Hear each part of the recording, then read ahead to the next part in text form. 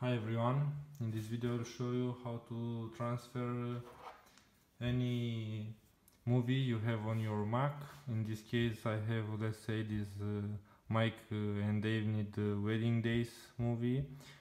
Uh, to transfer any movie file uh, to your um, iPad. So first thing you gotta do, you need to go to App Store and search for this app these are VLC just type VLC okay, let me show you VLC and you'll find VLC for mobile. Uh, download this app I already did uh, so I will just open it.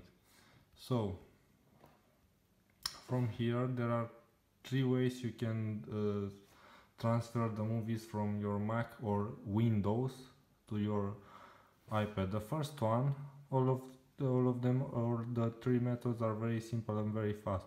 The first one is this one sharing via Wi-Fi.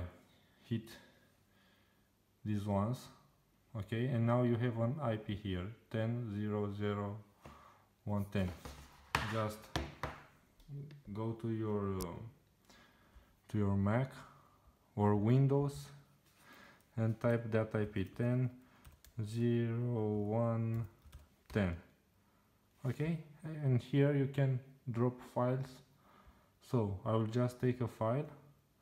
Let's say this uh, move file because it has only 48 megabytes.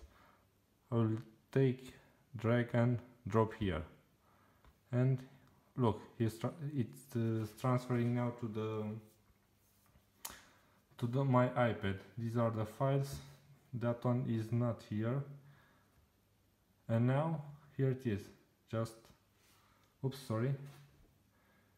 Now that file is on my uh, iPad.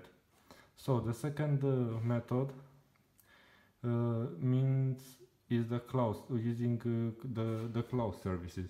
And here there are a few choices.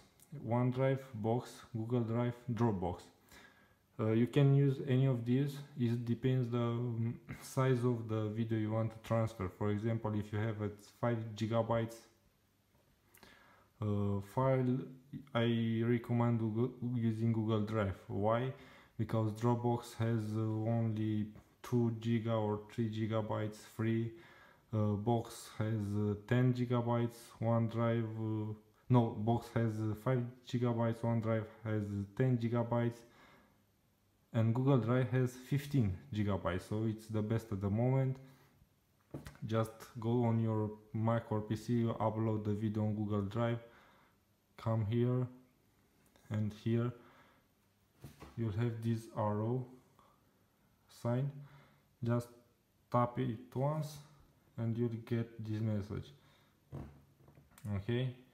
That asks you if you want to to download. Say download and we'll download the file from uh, from Google Drive. It may take 10-15 minutes depending on your uh, Wi-Fi speed. And the third method and the simplest if you have a Mac is using the AirDrop. If you don't have VLC installed this method won't work but if you have let me show you just uh, sorry. Okay let's open a new browser for airdrop. Just uh, go to the movie take the file and drop it on on your iPad okay? Now oops save to iCloud that because I took another file. Let's take just the video okay? So we take the video and drop it to iPad okay? Accept. And that's it. Once you once the the video is uh, transferred it will uh, appear uh, I will cancel now because it takes some time as well.